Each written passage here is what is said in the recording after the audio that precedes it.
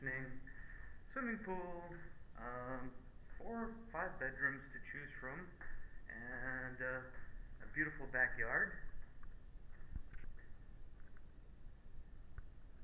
So, I think I'll stay here for, hmm, three, four, five, six days, a week? Anyhow, this has got to be the luckiest break I've had, and uh, let me show you around the house. Upstairs with another bedroom and another bathroom, and this is the view from the second story looking out on the beach.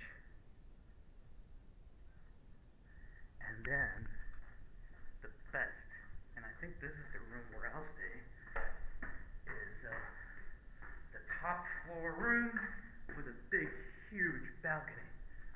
So, this is it. Huge bathtub, swimming pool. And the best, I think I'll hang out here a lot.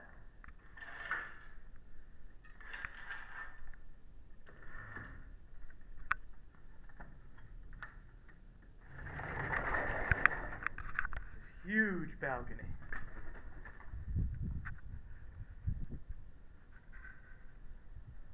That's the bay. You can see uh, Puerto Vallarta off in the distance. Kind of cloudy today. Beautiful day. It's been raining every night. Just enough to keep things cool, make it uh, nice and fresh.